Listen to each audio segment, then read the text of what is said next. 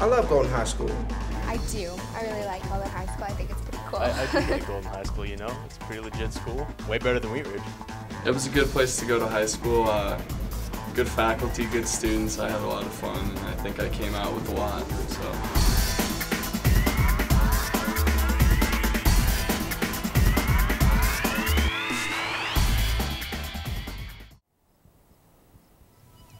Golden, Colorado, a beautiful town with beautiful people and places.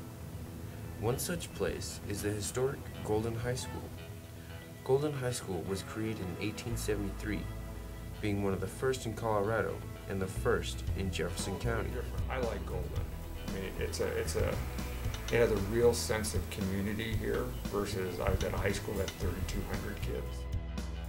Golden High School's attendance has increased over the years. It did not offer graduation until 1886 when only 11 students graduated. In 2011, Golden High School is expecting 300 seniors to graduate. The new one by far.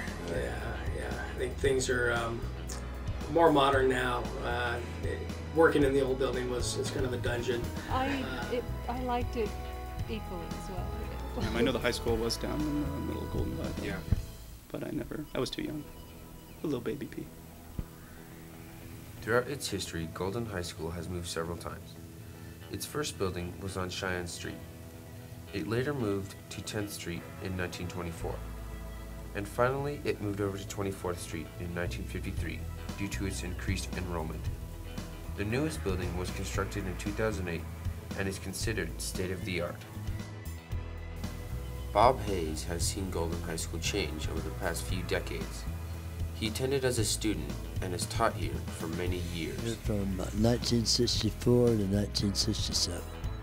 It was uh, three grades, 10, 11, 12. We had about 850 sheds. So if you multiply that into the four grades that we have now, it'd be, more, it'd be about uh, 1,100, so maybe 150 less than we have now. So about the same size over the years. Like every school, Golden High School has had its problems. In 1905, Golden High School was saved from a boiler accident by its janitor, Oscar Nolan. I heard that's how Freddy Krueger was made. He was down in the boiler. There was the fire. He got scarred, and now he's in my dreams. I know that uh, the custodian at the time, because they had to stoke the boilers to heat the, the building, and he had um, checked on it, and you had to have water in the boilers, okay?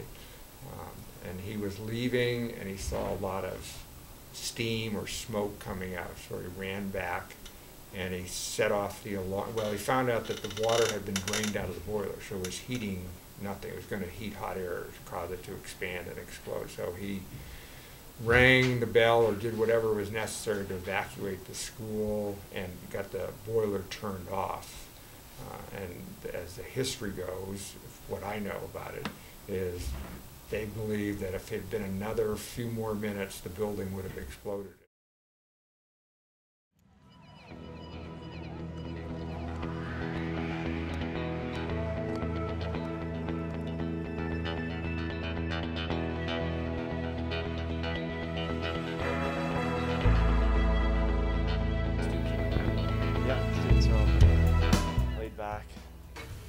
Golden High School is steeped in history from 1873 up till now.